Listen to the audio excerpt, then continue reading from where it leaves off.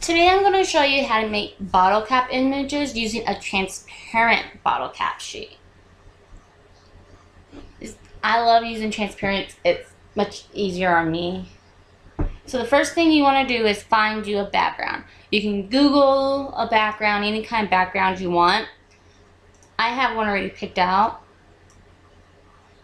So what you're going to do is you're going to go File, then Edit, Copy. And then you're going to go Edit, Paste.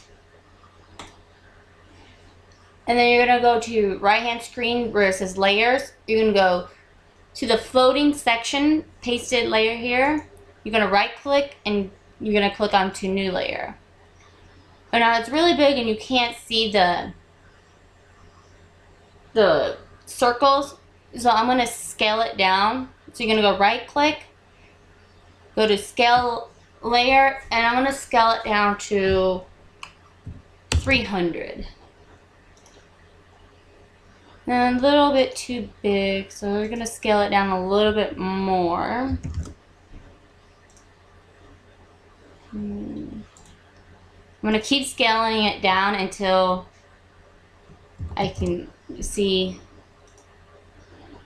most of it.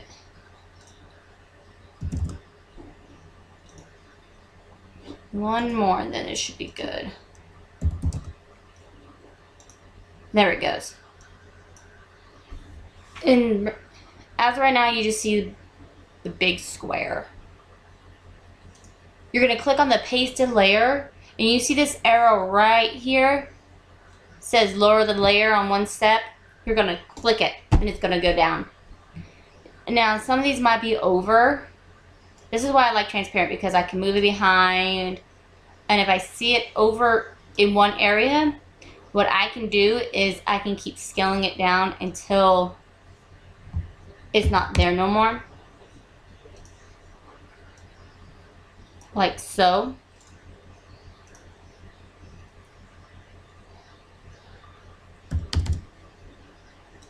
Two hundred.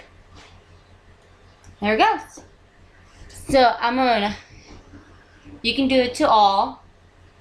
What you can do is gonna right click, duplicate, duplicate, duplicate layer, and then you can just move it.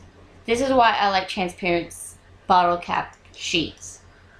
See, you can move it.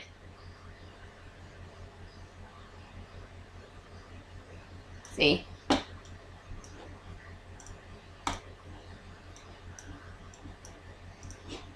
You just move the, the image where you want, the background, like so.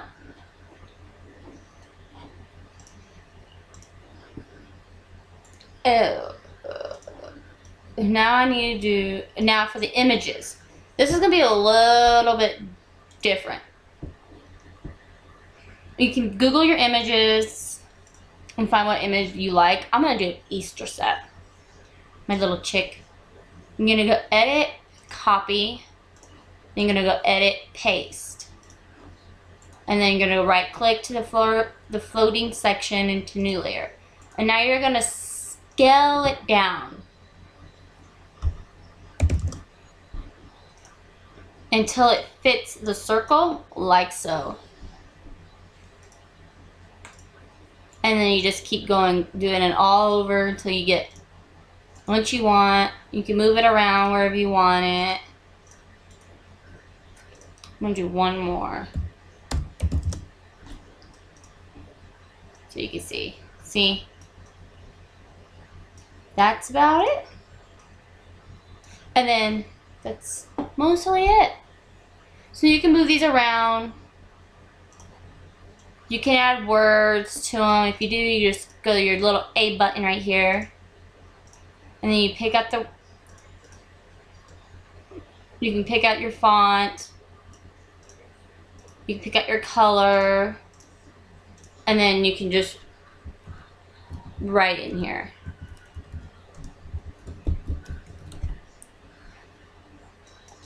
And of course you can change the size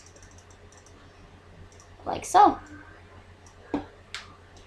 And you can always add them to the pictures if you want to with them. It's really up to you. And that's how you make bottle cap sheets with transparent.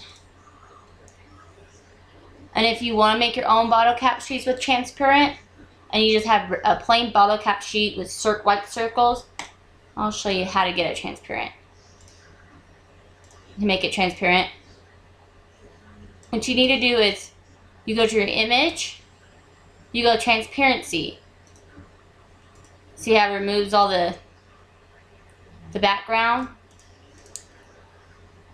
And then you go transparency and you want to add alpha channel.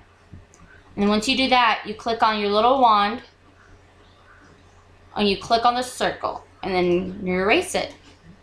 And that's how you make your own. That's how I do it. I do it with my Shrinkadinks and and it helps me out and I do it with my bow cards and all the other stuff so it makes it easier for me.